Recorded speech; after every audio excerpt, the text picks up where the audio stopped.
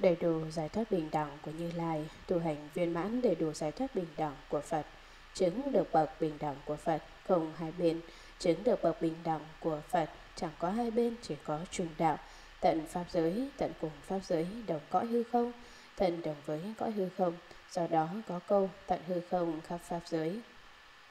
Cùng với các đại Bồ Tát, nhiều những số hạt bụi bất khả thuyết trong ngàn ước na do tha cõi Phật tụ lại, đều còn một đời nữa sẽ chứng được an hậu đa la tam hiệu tam bồ đề.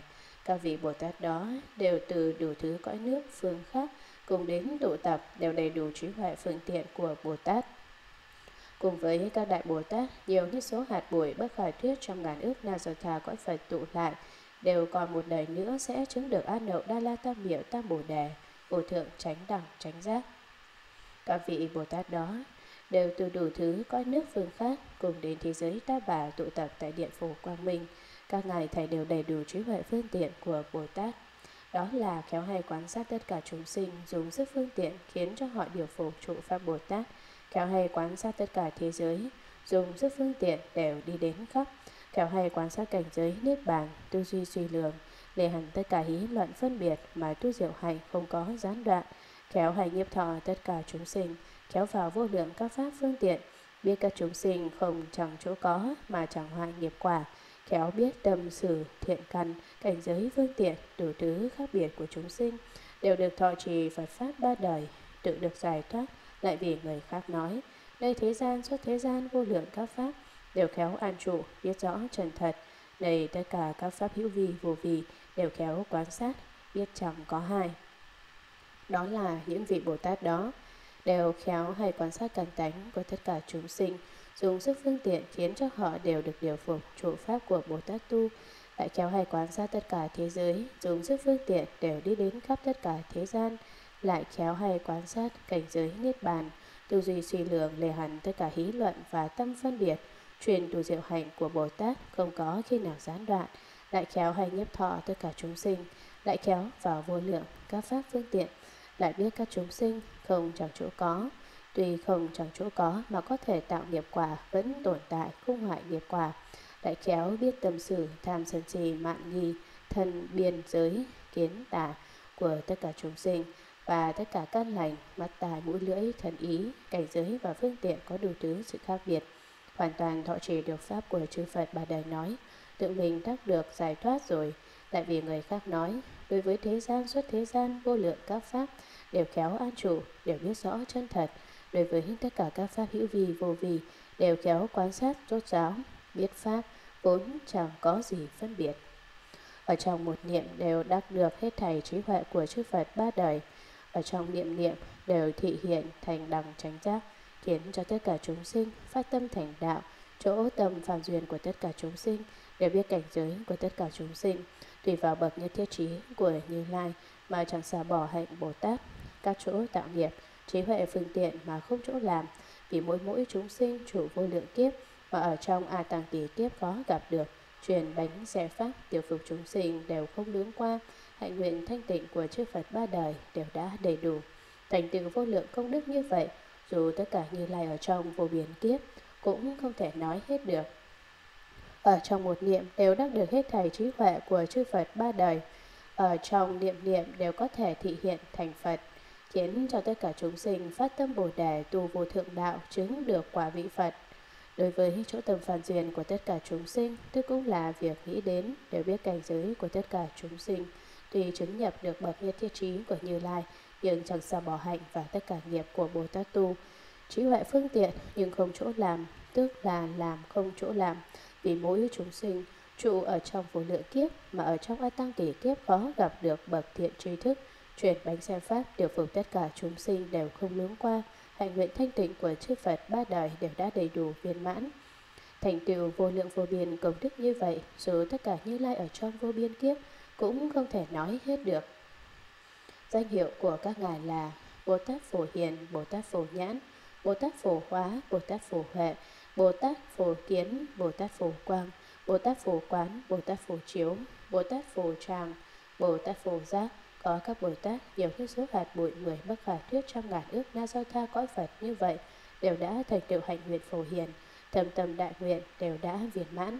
Chỗ tất cả chư Phật ra đời thầy đều đi đến thỉnh truyền bánh xe Pháp, theo hay thọ trì Pháp nhãn của chư Phật, chẳng dứt giống tánh của tất cả chư Phật, kéo biết tất cả chư Phật ra đời thọ ký thứ tự, danh hiệu cõi nước, thành đẳng tránh giác truyền bánh xe Pháp.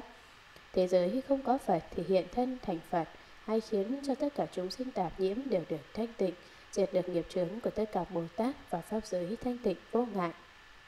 Danh hiệu của những vị Bồ Tát đó là Bồ Tát Phổ Hiền, Bồ Tát Phổ Nhãn, Bồ Tát Phổ Hóa, Bồ Tát Phổ Huệ, Bồ Tát Phổ Kiến, Bồ Tát Phổ Quang, Bồ Tát Phổ Quán, Bồ Tát Phổ Chiếu, Bồ Tát Phổ Tràng, Bồ Tát Phổ Giác, đưa ra danh hiệu của 10 vị Đại Bồ Tát, 10 là ý nghĩa đại biểu vô tận. Cảnh giới nói trong kinh Hoàng Hiền là trùng trùng vô tận, vô tận trùng trùng. Những vị Đại Bồ Tát như vậy, nhiều những số hạt bụi 10 bất khả thuyết trong ngàn ước na do thà cõi Phật, đều đã thành tựu đại hạnh đại nguyện của Bồ Tát Phổ Hiền Tu, thâm tâm đại nguyện đều đã tu đến trình độ viên mãn. Phàm là chỗ nào có chư Phật xuất hiện ra đời, các ngài thành đều đi đến đạo tràng của Phật để thỉnh truyền bánh rẻ pháp. Khéo hay thọ trì pháp nhãn của chư Phật nói, chẳng rất giống tánh của tất cả chư Phật, có thể tục Phật huệ mạng, khéo biết tất cả chư Phật xuất hiện ra đời. Phật thọ ký cho Bồ Tát nào, vị Bồ Tát nào được thọ ký trước, vị Bồ Tát nào thọ ký sau. Danh hiệu thành Phật và tên cõi nước, thành đẳng tránh giác rồi, chuyển bánh xe pháp giao hóa chúng sinh. Thế giới không có Phật thì hiện thân thành Phật, hay khiến cho tất cả chúng sinh tạp nhiễm đều được thanh tịnh, diệt hết sạch nghiệp chướng của tất cả Bồ Tát vào được pháp giới thanh tịnh vô ngại. Bấy giờ Đại Bồ Tát Phổ Hiền vào tam muội rộng lớn tên là Phật Hoa Trang Nghiêm. Lúc đó Đại Bồ Tát Phổ Hiền vào tam muội rộng lớn tên là tam muội Phật Hoa Trang Nghiêm. Khi vào tam muội đó thì mười phương hết thảy tất cả thế giới đều có sáu thứ, mười tám tướng chấn động và ra âm thanh lớn, chẳng có chỗ nào mà không nghe, sau đó từ trong tam muội đó mà xuất định. Khi Đại Bồ Tát Phổ Hiền vào tam muội đó thì mười phương hết thảy tất cả thế giới đều có sáu thứ, mười tám tướng chất động. Sáu thứ tức là động dũng khởi thuộc về hình tướng, chấn hống kích thuộc về âm thanh, 18 tướng tức là mỗi thứ có 3 tướng, 3 lần 6 là 18 tướng, vang ra âm thanh lớn, chẳng có chỗ nào mà không nghe. Sau đó, Đại Bồ Tát Phổ Hiền từ trong tam muội Phật Hoa Trang Nghiêm mà xuất định. Bấy giờ Bồ Tát Phổ Huệ biết đại chúng đã vân tập, bèn hỏi Bồ Tát Phổ Hiền rằng, Phật tử xin hãy diễn nói.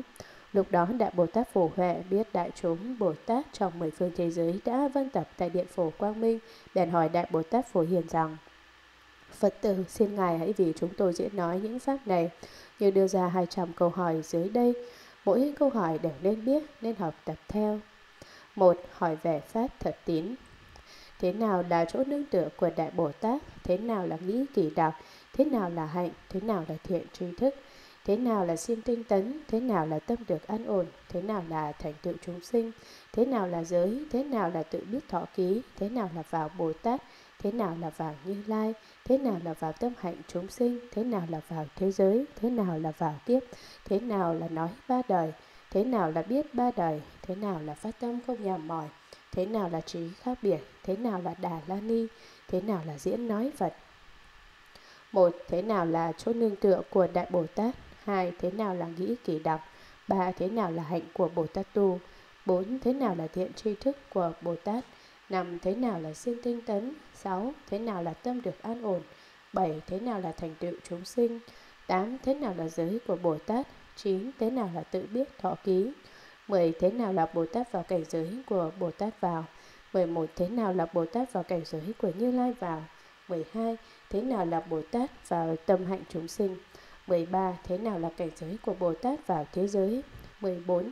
Thế nào là cảnh giới Bồ Tát vào tất cả kiếp 15. Thế nào là nói ba đời 16. Thế nào là biết ba đời 17. Thế nào là phát tâm không nhảm mỏi 18. Thế nào là trí khác biệt 19. Thế nào là đà la ni 20.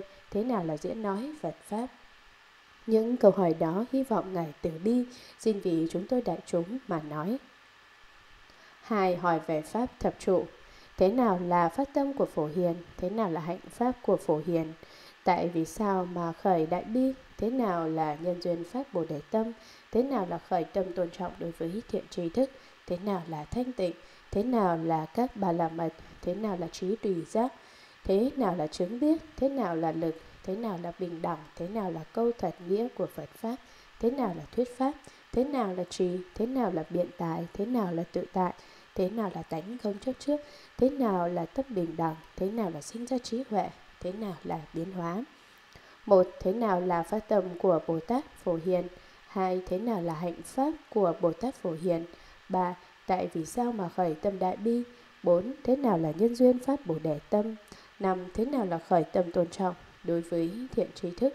Sáu, thế nào là thanh tịnh? Bảy, thế nào là các ba la mật? Tám, thế nào là trí huệ tùy theo giác ngộ? Chín, thế nào là chứng biết? Mười, thế nào là sức lực? Mười một, thế nào là bình đẳng? 12. Thế nào là câu chân thật nghĩa của Phật Pháp? 13. Thế nào là thuyết Pháp? 14. Thế nào là thọ trì Phật Pháp? 15. Thế nào là biện tài? 16. Thế nào là tự tài? 17. Thế nào là tánh không chấp trước? 18. Thế nào là tâm bình đẳng? 19. Thế nào là sinh ra trí huệ?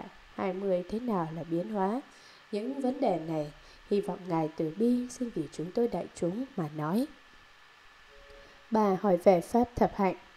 Thế nào là lực trì, thế nào là được vui mừng lớn, thế nào là vào sâu Phật Pháp, thế nào là y trì, thế nào là liệt phát là phát tâm không sợ hãi, thế nào là phát tâm không nghi hoặc, thế nào là không nghĩ bàn, thế nào là lời khéo léo bí mật, thế nào là trí khéo phân biệt, thế nào là vào tam muội, thế nào là vào khắp, thế nào là muốn giải thoát, thế nào là thần thông, thế nào là minh, thế nào là giải thoát, thế nào là vườn rừng, thế nào là cúc điện, thế nào là sự ưa thích, thế nào là trang nghiêm, thế nào là phát tâm bất động, thế nào là không bỏ tâm sâu lớn, thế nào là quán sát, thế nào là thuyết pháp, thế nào là thanh tịnh, thế nào là ấn, thế nào là trí quang minh, thế nào là vô đẳng trụ, thế nào là tâm không hạ liệt, thế nào là tâm tăng thượng như núi, thế nào là vào trí vô thượng bồ đề như biển.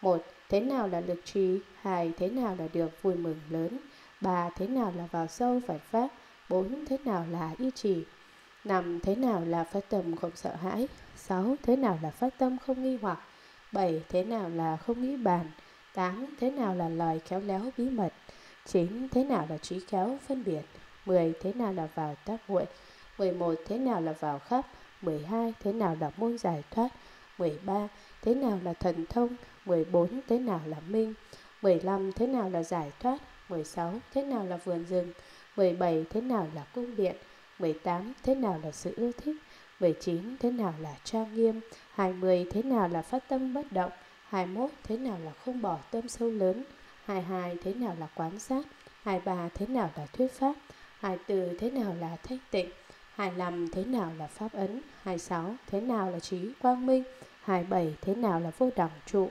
28. Thế nào là tâm không hạ liệt 29. Thế nào là tâm tăng thượng như núi? 30. Thế nào là vào trí huệ vô thượng bồ đề như biển? Những vấn đề này hy vọng Ngài từ bi, xin vì chúng tôi đại chúng mà nói. 4. Hỏi về Pháp thập hồi hướng. Thế nào là trụ như thật? Thế nào là phát tâm thể huyện đại thừa như kim cang? Thế nào là pháp